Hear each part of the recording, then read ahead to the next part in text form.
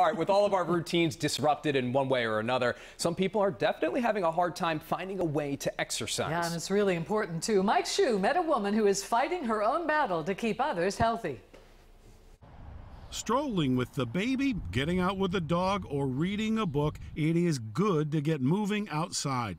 Perhaps no one knows this better than Krista Michael and Donnie Singer. Besides being a couple, they run Fit to Go personal training. We do have the bands on our shoulders. While Krista has gotten to be a whiz at instructing over the internet, on this day, she's happy to be setting up outside with her client, Carrie Phillips. Okay, squeezing your shoulder blades behind you. Carrie's job spans multiple time zones, so she's on calls before dawn until after sunset. She admits she needs someone to motivate her. I'll get sucked into work and I'll do other things and not, pri- not prioritize this. So I need the schedule, like to be accountable to a time and a class. Krista agrees. I feel like it makes the workouts more productive.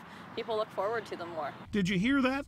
People looking forward to something. With lives turned upside down, looking forward to something, anything, is important for the mind and soul. If I can do it, anybody can do it. She says that because she has a form of leukemia that makes her immunocompromised, and her life story motivates her and her clients. it definitely helps too because I, um, you know, the rewarding experience that I get from training clients and helping people, I still get that because I'm still able to see my clients, I'm still able to talk to them, I'm still able to coach them every day and see the progress they make. Progress, the client reminds us, is more than just physical. Working out is like my your way, I guess, my way of clarity instead of from the work stress.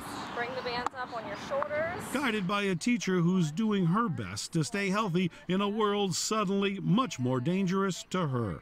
In Canton, I'm Mike Schuh for WJZ.